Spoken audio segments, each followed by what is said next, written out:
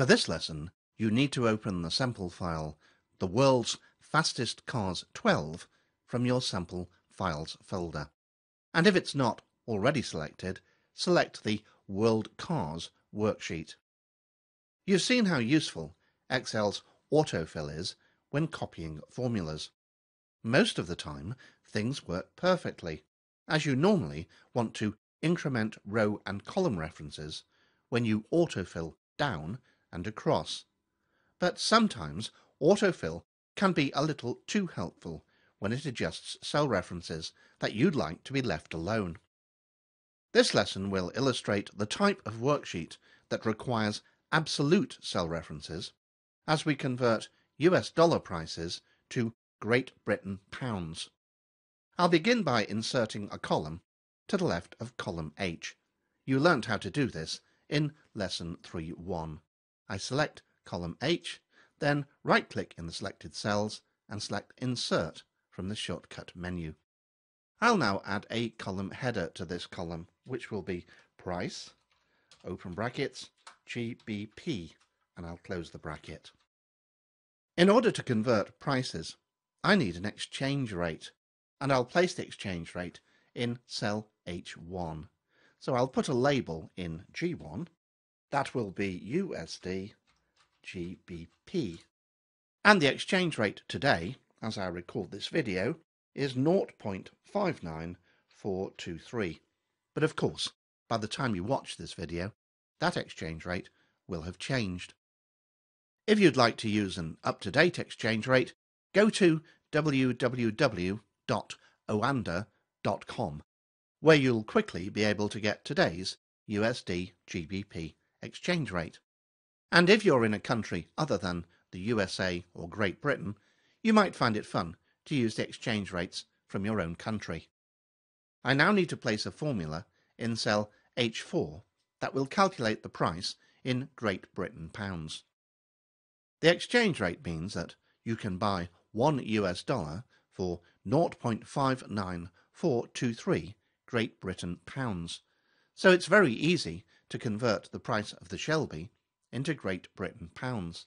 I'll type equals on the keyboard to start the formula, then click on the Shelby price, then the multiplication operator, and then the value in cell H1. And when I press the Enter key, I can see that a Shelby Aero costs 388,864 Great Britain pounds. Now you might think that you can simply autofill the formula in cell H4 to the end of the range. But in the case of this worksheet, that will give incorrect results. Let's examine why. First of all, I'll change the worksheet so that instead of displaying values in cells, it displays formulas. To do that, I'll click Formulas on the ribbon, and in the Formula Auditing group, I'll click Show Formulas. And formulas are now displayed instead of values. And now I'm going to autofill the formula in cell H4. So I click cell H4 and then drag the autofill handle to the end of the range. Let's look at the first formula, the formula in cell H4. It's the price of the Shelby multiplied by the exchange rate. And that's exactly what I want. Now let's look at cell H5. I can see that Autofill's done a wonderful job of adjusting the G4 part of the formula so that it now references the price of the Bugatti. But look what it's done to the exchange rate reference. Instead of referencing the exchange rate in H1, it's referencing the blank cell in cell H2. So the result of this calculation would be a price of zero for the Bugatti Veyron. And let's look at the Koenigsegg. This time things are even worse. I'm multiplying correctly the price of the Koenigsegg by the text value in cell H3. And because you can't multiply by a text value, this would result in an error in cell H6. It should now be clear that what I really wanted autofill to do was to adjust the G4 part of the formula, but leave the H1 part of the formula alone. In Excel terminology, we'd say that G4 is a relative reference and H1 is an absolute reference. So how do I tell Excel that H1 should be treated as an absolute reference? I need to edit the formula, and I'll use the formula bar for this, because that's more convenient than editing in the cell. I'll click just to the left of the H of H1 and type a dollar sign on the keyboard. Now it's important to realise that this has nothing at all to do with dollar the currency. It's simply the symbol that we use to denote an absolute reference wherever it's used. Then I'll move to the right of H and add another dollar sign before the 1. It's important that you put two dollar signs in your absolute reference. The reasons for this will become apparent in the next lesson when you learn about mixed cell references. I'll now press the Enter key to save the formula into the cell. Now you can see that nothing's happened in the other cells in the range, cells H5 to H15. That's because I'll need to autofill again to adjust the other formulas. So I'll click in cell H4 and then autofill to the end of the range. Let's now examine the formulas in column H. The formula in cell H4 is going to work correctly again. The price of the Shelby multiplied by the exchange rate. In cell H5, I'm multiplying the Bugatti price by the exchange rate. That will work fine. And in H6, I'm multiplying the Koenigsegg price by the exchange rate. So everything should now work fine. I'll now switch the worksheet back to display values instead of formulas.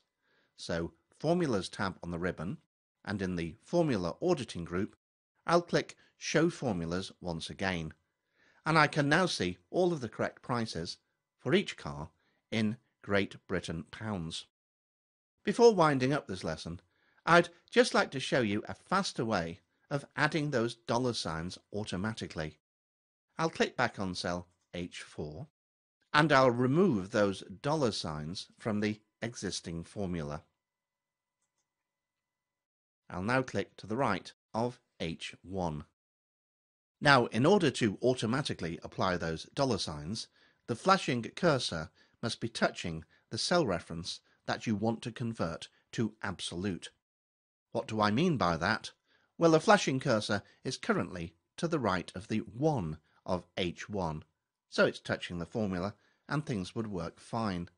If I click in between the H and the 1, that would be fine too, because the flashing cursor is still touching the cell reference. And if I click to the left of cell H1, that's going to work as well. The flashing cursor is still touching the cell reference. When you're sure that the flashing cursor is touching the cell reference, press the F4 key on your keyboard, and those dollar signs magically appear. Now, if you only see one dollar sign, it's because you accidentally pressed the F4 key twice. I'll just press the F4 key again, and you can see that one of the dollar signs has disappeared. If this happens to you, just keep pressing F4 and eventually both dollar signs will reappear. I'll press F4 again, and I now have a dollar sign in front of H. Press again, and they've both disappeared. Press again, and they're both back. That's what I want. The reason this happens will be apparent to you when you understand mixed cell references after completing the next lesson in this course. I'll now press the Enter key to save that value into the cell. All that remains now is to save your work, and I'm going to save with the new name, The World's Fastest Cars 13.